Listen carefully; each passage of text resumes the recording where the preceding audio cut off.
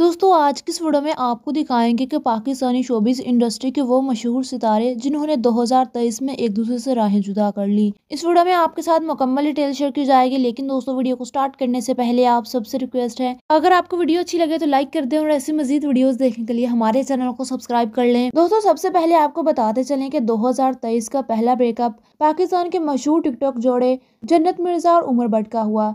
जन्नत और उमर ने अपने ब्रेकअप का ऐलान फरवरी 2023 में किया था। बताते चलें कि जन्नत, मिर्ज़ा और उमर भट्ट दोनों ने ही अपने अपने सोशल मीडिया अकाउंट की स्टोरीज के ज़रिए अपने ब्रेकअप का ऐलान किया था और टिकटॉकर जन्नत, मिर्ज़ा ने उमर भट्ट पर यह इल्ज़ाम लगाया था कि उमर भट्ट दूसरी लड़कियों में इंटरेस्टेड है। 2023 में सेकंड नंबर पर जिन मशहूर सितारों के दरमियान डाइवोर्स हुई, मरियम नवाज़ के बेटे जुनेद सफदर उनकी वाइफ आयशा सैफ के दरमियान थी। दोनों की डाइवोर्स की खबरें अक्टूबर में सामने आई थी। जुनेद सफदर और आयशा सैफ की शादी, जो कि सिर्फ़ डेढ़ साल का अरसा चल पाई थी दोनों में डाइवोर्स की वजह यही सामने आई थी कि आयशा सैफ ने अपने फैंस को बताया था कि उनको इस शादी में बिल्कुल भी कहीं भी सुकून नहीं मिला और ना ही रिस्पेक्ट मिली थी।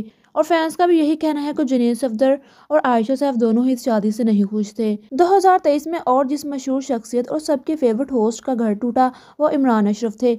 इमरान अशरफ और किरण अशफाक में डाइवोर्स की खबर उस वक्त सामने आई, जब इमरान अशरफ की सबका अहलिया किरण अशफाक ने दूसरी शादी कर ली और बहुत ही सादगी के साथ शादी करते हुए अपनी तस्वीर को अपने फैंस के साथ शेयर किया। तो उस वक्त फैंस को इस बात की खबर हुई कि इमरान अशरफ की भी डाइवोर्स हो चुकी है। जबकि इससे पहले सोशल मीडिया पर सिर्फ़ और सिर्फ़ इमरान अशरफ और उनकी वाइफ की डाइवोर्स की रोमर्स ही थी, लेकिन शफा की दूसरी शादी ने साबित कर दिया कि वाकई इनमें डाइवोर्स हुई है। दो हज़ार तेईस में चौथे नंबर पर होने वाली डाइवोर्स तो दोस्तों सानिया मिर्ज़ा और शुएब मलिक की है, जिसको हमेशा की तरह फैंस इस दफ़ा भी रोमर्स ही कह रहे थे, लेकिन शुएब मलिक ने अचानक ही सनाम जावेद के साथ अपने निकाह की तस्वीर शेयर करके सबको हैरान कर दिया।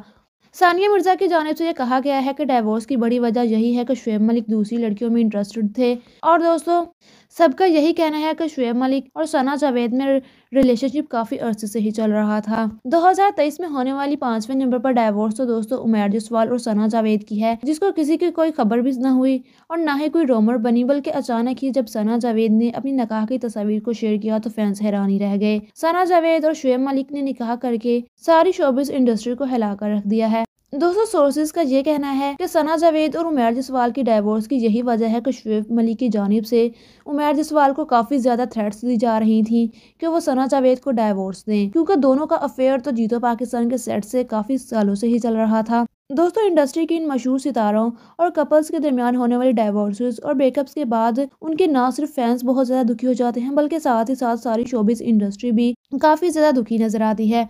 दोस्तों, आपको वीडियो कैसी लगी अपनी राय का जहाँ कमेंट सेक्शन में ज़रूर कीजिएगा। अपना बहुत सारा ख्याल रखिएगा। अल्लाह हाफिज़।